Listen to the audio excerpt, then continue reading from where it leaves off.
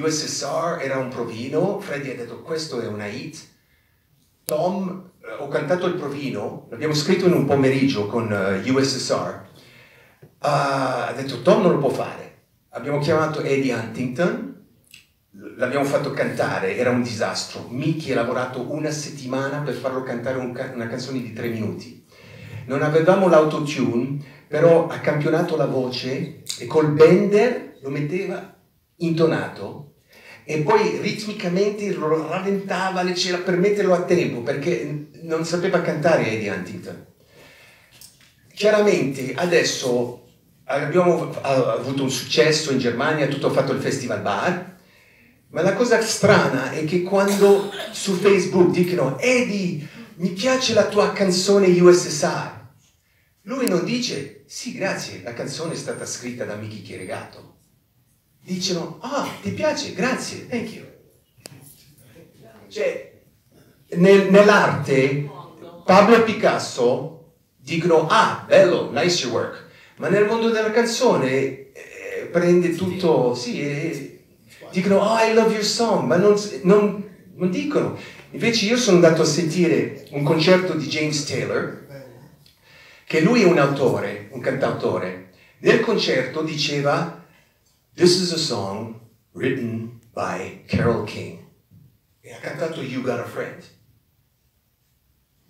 Cioè, io volevo, è quello che volevo da denaro, che andassi sul palco a prendere i soldi con la mia voce sulle basi, che dicesse soltanto grazie. Questa è una canzone, canzone composta da Mickey Chieregato e scritta da Tom Hooker. Tanto lo sapete perché l'ha dichiarato due o tre anni fa, e fa ancora le serate perché ci sono video su YouTube dove lui quando c'è Don't Break My Heart la parte You and me make a team. I want you near me every day.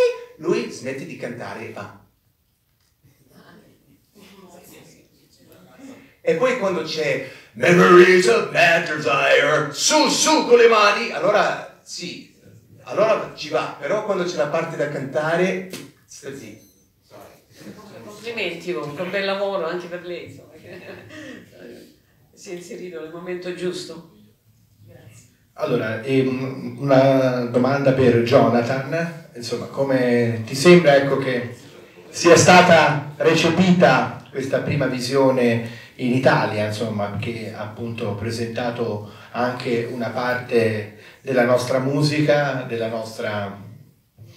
e se hai ancora l'interesse a magari esplorare certi aspetti della sensibilità e dello stile italiano dopo questo documentario.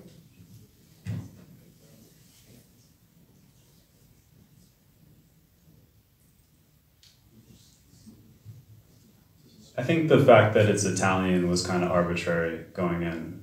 It was just uh, an opportunity to, you know, explore this pop project, which is at once the sum of its constituent parts. You know, there's Tarati, Kirigato, Tom Hooker, Seven of Zandri, which is true. The Dons of Disco. Sure, the Dons of Disco. But in working through the footage, there's another quality, which is the relationship between an artist and a fan. And that's something that I don't think you can recreate. I think it's something that exists in a certain moment and you can't recapture that.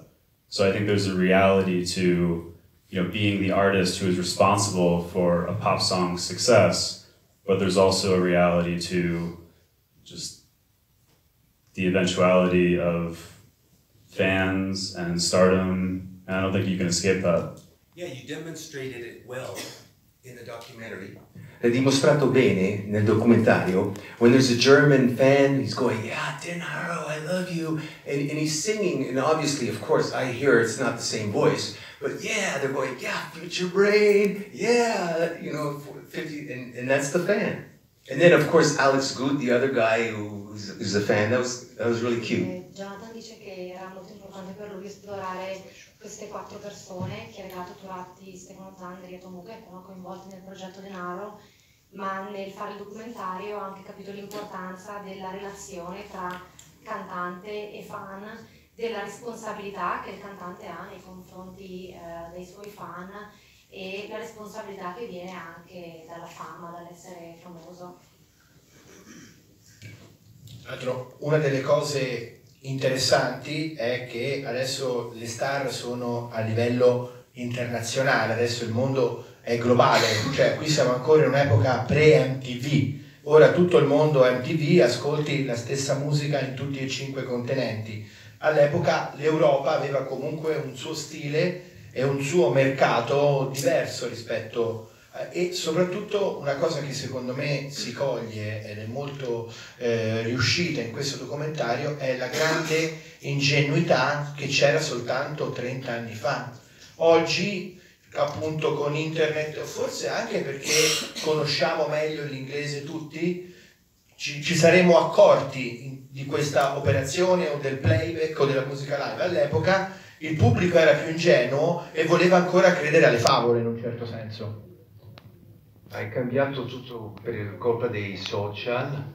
Per esempio, se dici che hai fatto un telefilm con Lorenzo Lamas, puoi andare a verificare che non è vero. Eh, e, io direi che tutta la nostra diatriba è cominciata col Facebook. Se non c'era Facebook non succedeva niente. Io stavo a Las Vegas tranquillo, lui stava lì, perché non leggevo le cose che diceva su di me. Jonathan, congratulations, you did a great job.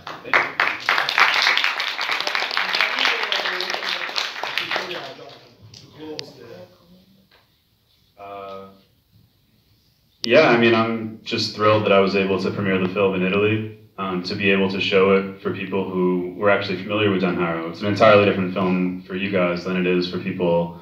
I'm screening it in Arkansas in a few days, and they're not going to have any context. So I think that it's it's really just a special circumstance to be able to play it here. È molto contento che la premiere mondiale sia stata fatta in Italia, a Roma.